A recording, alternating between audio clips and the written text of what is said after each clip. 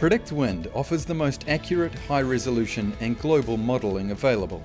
The process starts with observation data collected from thousands of weather sources around the world from both ECMWF and NOAA.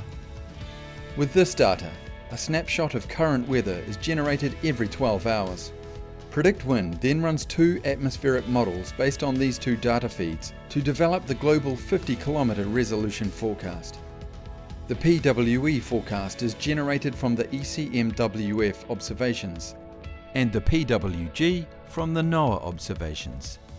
We downscale the global 50 kilometre forecast by running the model at 8 kilometres and an incredible 1 kilometre resolution for popular coastal areas.